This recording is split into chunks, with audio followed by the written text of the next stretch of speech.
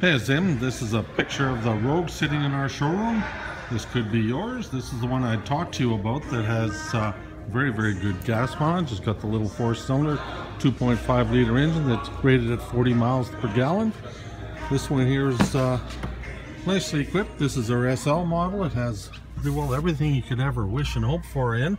Uh, I don't know if it'd be what you need, but uh, we need to talk and we could go over that. It's got the cruise, it's got the navigation, it's got the heated front seats, uh, dual climate control air conditioning, panoramic sunroof. It's just a beautiful car, you know. Um, so, Kazim, give me a call and uh, let's chat about this.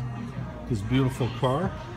It's got the power tailgate, the whole ball of wax. So 780-769-0060.